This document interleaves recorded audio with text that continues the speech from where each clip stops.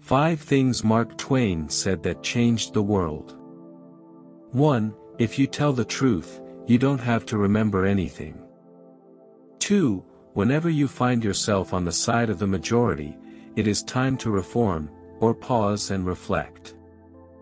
3. Never put off till tomorrow what may be done day after tomorrow just as well.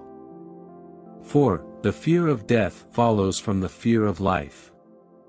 A man who lives fully is prepared to die at any time. 5. Keep away from people who try to belittle your ambitions.